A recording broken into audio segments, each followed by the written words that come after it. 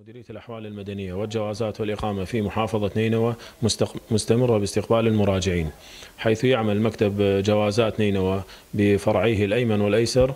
آه، يعمل بضمن جدول خاص آه، بلغ الحجز حاليا 642 ألف. وعندنا مكتب شؤون الجنسية يستقبل هم بالأيمن والأيسر في منطقة راس الجادة. و يعني هذا بدون أي حجز بدون أي مناطق فقط يوم أيمن ويوم أيسر. ومكتب المعلومات نفس المنطقة هم برأس الجادة هم يعمل هم يوم أيمن ويوم أيسر. يعني بدون أي حجز مراجعة مباشرة.